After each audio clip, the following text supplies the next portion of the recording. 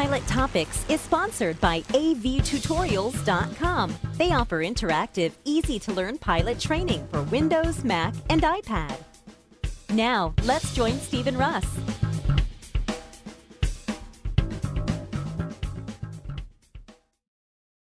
Welcome to Quick Pilot Topics, episode number two. I'm Steve, an airline pilot, flight instructor, flight engineer, previous examiner, and an A&P mechanic.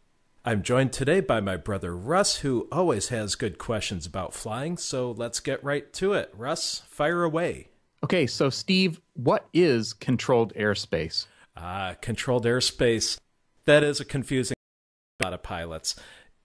It is a generic term that covers the different classifications of airspace, which we're talking about class A, B, C, D, and E airspace. Air traffic control service is provided to IFR flights and to some VFR flights depending on the airspace classification. Many pilots tend to think that they're talking to a controller, and if so, then that's controlled airspace, but that's not true. Again, it's just a generic term. So, what is uncontrolled airspace? It's Class G airspace. If we state it differently, it's the airspace that is not A, B, C, D, or E. Okay, so why does a pilot need to know the difference? Well, it deals with the complexity or the density of aircraft movements, uh, the nature of the operations conducted within a certain type of airspace, uh, even the level of safety required, and the national and public interest. And there are other factors too, such as cloud clearance and visibility re- requirements that pilots have to maintain. In other words, basic VFR minimums are not the same everywhere. They vary depending on the type of airspace that you're in. So, why, again, does a pilot need to know the difference between controlled and uncontrolled airspace? It is confusing. The key thing to remember here is that these are just generic terms. It's entirely possible to be in controlled airspace and never even speak to an air traffic controller. The takeaway is that each type of airspace has operational requirements, and that uncontrolled, which is Class G again, provides the greatest degree of leniency with operations. You know, some pilots have termed Class G as go for it, as in G stands for go for it, which which implies that you can do whatever you want, but that's not true. Class G's go for it environment does mean that flight requirements are the least stringent of all the classes, however.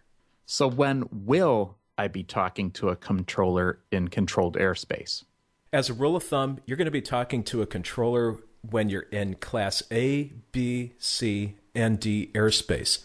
If you're in Class E airspace, you might or might not be talking to a controller. It depends on what operations you're conducting, whether you're IFR or VFR, and other factors. It's a lengthy discussion, uh, more suitable for, for a later conversation.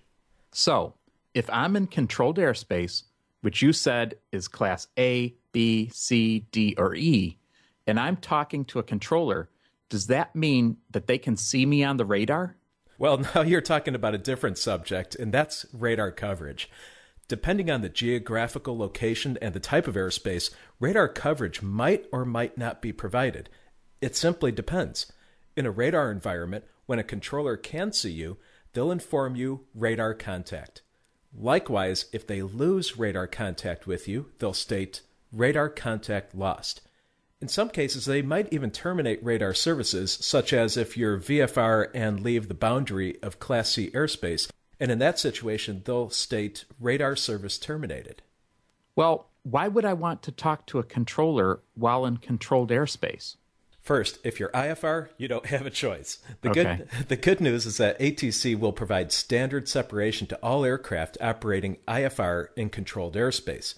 Second, if you're VFR, you'll benefit from receiving traffic advisories and safety alerts such as terrain and obstacle alerts. Of course, this hinges on whether you're in radar contact and it also depends on if the controller can fit you into his or her workload. I see. Well, this helps clarify that controlled airspace doesn't mean you're talking to a controller, and that radar service found in controlled airspace. Yeah, that's right.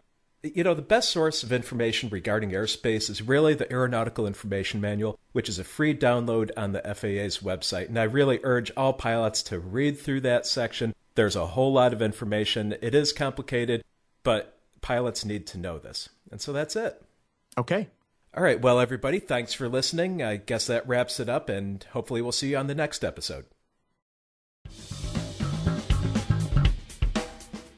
Visit avtutorials.com for a free two hour ebook audiobook titled 12 Easy Ways Pilots Get in Trouble. Remember to listen next week and happy flying!